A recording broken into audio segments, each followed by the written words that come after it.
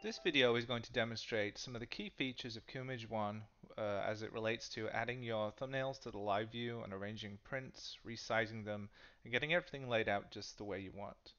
So let's start over here on the left. We've already selected a folder which contains some of our images and we have the thumbnails displayed on the side here. So we can go ahead and select a thumbnail by clicking on it and you see that it, it highlights. You can also make a multiple selection by using the shift or command keys. Then we can move over to the Prints tab over here. Now it may be that you have this Prints tab visible below the print settings. In this case on the smaller screen I have it next to the printer settings tab. So if I click on here you can see I have an option of how many copies of this particular thumbnail I would like to add. I also have a list of all the print sizes which are available. So this is the first way you can add a print to the live view is simply by clicking on the print size you would like. There we have our thumbnail that was selected over here and now you can see that it is being put on the center of the live view. If you prefer to pick your print size first, you can do that. Let's go ahead and uncheck this thumbnail first. Then I'm going to pick a 5x7 print from the list of sizes on the right here. You'll notice that on each thumbnail is a little plus button. If we click on the plus, then that thumbnail we selected will be added to the live view with the print size that is selected over on the right. Another way you can add a print is again to pre-select a print size. I'm going to pick the 2 by 3 inch print. Now you can simply drag from the thumbnails onto the live view and you see this plus symbol appear. Now if I release, I get a 2 by 3 inch print added onto the live view. Now that we have some prints on the live view, we can talk about the way that QImage 1 arranges prints on the page. There are three layout options. First one is IntelliSpace. Second one we're using here is IntelliCenter, and then we also have the IntelliCut layout option. Now to show the difference between these three layouts, I'm just going to remove this bottom print here. And you can see that in the IntelliCenter option, the prints are grouped together in the center of the page where possible, and there is a quarter inch gap left between prints to make it easier to separate them once you have printed them. If you use IntelliSpace, the prints uh, still have a gap between them, but now they're arranged towards the top of the page. This is especially useful if you're using roll paper and you want to try and preserve as much uh, paper as you can from the roll. And finally we have IntelliCut. This will arrange all the prints on the page leaving no gaps. This uh, makes the most use of the paper and you should use this if you want to group a lot of images together and you don't really care about having a spacing between them. Once prints have been added to the live view, you can still resize them. Uh, maybe you like the print to look a little larger than you thought it was going to look, or you want just a different arrangement. The way to do this is first to select the print. So you can uh, select any print just by clicking on it, and you see it gets this outline around the outside. And again, just like the thumbnails, you can use Command and Shift to make a multiple selection. So I'll hold down Command, and I'll click on this. Now both prints are selected. So with print selected, the print size now is a resize function. It's no longer adding new thumbnails, but it's resizing which prints you have selected. So if I click on the 5x7 print size, for instance, you see that both prints are now resized. Now I'm just going to go back to the IntelliCenter options. It's a little clearer to see. We can also resize prints manually if we want to get a very specific size. If I click on this print of the flower here on the top of the layout, and I move my mouse towards the corner, you can see this diagonal resize arrow appear. And then if I hold down the mouse button and I start to move, you can see that I get a dashed line showing me what size the print will be. And you can also see down on the bottom of the status bar the size that the print will be released when I let go. Now if I let go, I have the print has been resized to the new size. Notice also that QImage 1 has rotated the print because it can see that it can fit more prints on the page this way. And we'll talk about that a little bit later. So in our list of print sizes we have some special sizes down here. Um, we have original size which will place the print um, at the actual original size it was designed if it came from something like Adobe Photoshop where the size is embedded in the print. And we also have fit to page and fit to paper and I'll show you the difference. With this image selected, if I click Fit to Page, QImage 1 will fit the whole image as best it can inside the printable area on the page. Now Fit to Paper, if you notice, it just makes it a little more zoomed in. And the way it does that is it assumes, even if there are margins, it assumes it's trying to print that to the whole paper. This will be convenient, for instance, if, if an image had been scanned at a particular paper size and you needed to print it back to that exact same paper size even if you had margins. So just a quick note since we're talking about margins here, notice that the, the gray area here represents the full size of the paper while the the white area is the actual printable page. Some printers cannot print uh, within a certain distance of the edge of the paper. Some can, they can print borderless. So we show here that we have a page which is 8 times 10.685 inches, that's the white area. Uh, this is using US letter paper, so the actual gray box, the, the larger box is the physical size of the paper, which for US letter is 8.5 by 11 inches. Now QImage 1 comes preloaded with some standard print sizes, but you're also free to make your own. You could uh, add a print size, you can uh, remove print sizes from the list, you can completely customize this list. Using the edit key down here, you can load sizes, save them, reset the sizes if you know you want to reset things back to the way they were when QImage 1 was first installed. So let's see how that works. Let's we're going to add a new print size here and we'll make it say 6 by 6 inches and we'll call it a 6 inch square. Give it a name so remember what it's used for.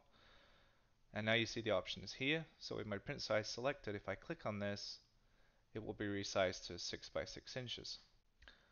But wait a minute, this is clearly not a 6 by 6 inch print, so what has happened?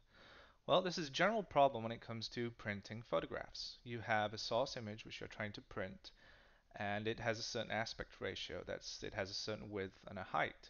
And the box that you're trying to put it into to print, in this case is a square, the two don't match. So what do you do? In this case, QImage 1 by default will keep all of the image, you won't lose any of your information, and it will put it inside of a 6 by 6 inch box at the right ratio.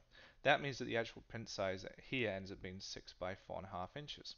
Now what if you really want to have a 6 by 6, 6 inch square print? Well, you can do that by clicking on the auto crop button down here, the little scissors icon. If I click on this, I now have a 6 by 6 inch print. But you notice that the petal got cut off here on the left hand side. That's because QImage 1 has now taken the, basically cut a square like a cookie cutter out of the middle of this print. Maybe we want to have the flower, which is towards the left of the image, inside of our square. Well, the way we do that is we just right click, and select crop prints and this opens the cropping editor. Now you can see the uh, color image in the center shows you what is currently being cropped and if you if you hover over the black areas here you see what's being removed. Now we can change this crop just by holding down the cursor and dragging the crop to the left and releasing. And now you notice that we have the entire flower. In fact, I, I think I went a little bit too far. I'm going to slide it back a little now the flower is centered within our cropping area. Notice now that we have what we just chose in the previous screen on the actual print on the live view. Now the auto crop feature can be used on a print by print basis or you can leave it on if you want it for every print that you add from now on. So if this thumbnail selected over here for instance, if I were to click on a 3x4 print size, I will get the auto cropping because it was already on. If I click on here, you see that this image is exactly 4 by 3 inches and it has been auto cropped to exactly fill that print size. Now we've talked about resizing prints and the different layout modes, but what if you want to have fine control over exactly where the prints are laid out? Well, you can do that simply by holding a print and dragging it. You'll see that the print will move to a new position. This enables what is called freehand mode, which is indicated by the little uh, hand down here. And when it lights up, that means that this page is now in freehand mode. It means that you have taken responsibility for organizing the prints, and QImage 1 will not try to automatically put them into one of its layout modes. Now you can have a print job of multiple pages, and each page can independently be freehand or QImage 1 will use its layout mode to arrange the prints for you. Now, if you move prints on top of one another, uh, you can change their order. If I wanted the flower to be on top, I just right click. You can say I have options to bring forward, send back, bring to the top or the bottom, and that is updated right here. Now, since this page is freehand, if I go to add a new print, uh, for instance like this, notice that it goes to the second page. That's because QImage 1 will not automatically add new prints to any page which is in freehand mode. Well, what if I really want a new print on page 1? I can do that by using the similar to where we dragged a print earlier, but now if I hold down the command key, I can drag a print explicitly onto a freehand page, and then I can continue to move it around and change its order and so on. I mentioned earlier in the video that I would talk about how QImage 1 lays out prints on the page. Let's select some thumbnails here and we will add these four thumbs as 4x6 prints. This creates two pages. This is page 2 and this is page 1. QImage 1 has tried to put as many 4x6 prints as it can on this page. It has sophisticated algorithms which will calculate the best way to organize the prints for you. This is good if you are trying to make the most of a larger piece of paper to print multiple smaller prints. But perhaps you don't want QImage to do this. Perhaps you always want to have two 4x6s on a page rotated like the cat picture at the bottom here. Now the way you can do this is you can select one of the prints and you can change its rotation with the two left and right rotate icons down here. So if I click on this one, this image will now rotate. Now the cats have changed. So I'll pick this image, rotate again, go to page 2. Now the print's rotated this way. This could get a little tedious if you had to do this over and over again. Well, fortunately you don't have to. So let's start over, remove everything.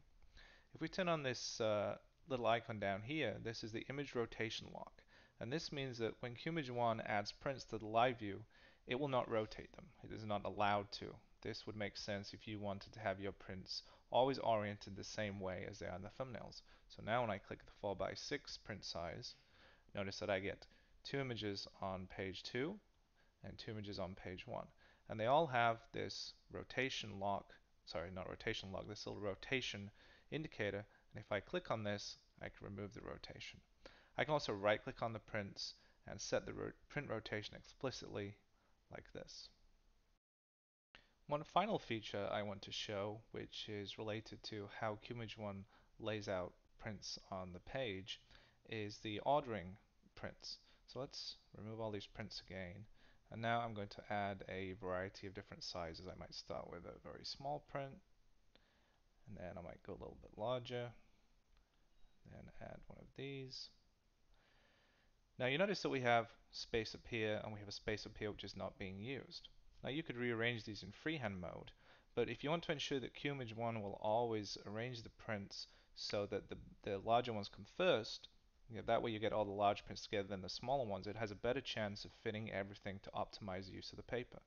All you have to do is click down here to order the prints and now you see that it fits much better on the page and if I wanted to I could add another small print down the bottom. I hope you found this video useful and I hope that you have fun trying out some of the different ways QImage 1 can combine your images on the live view to make some great looking prints.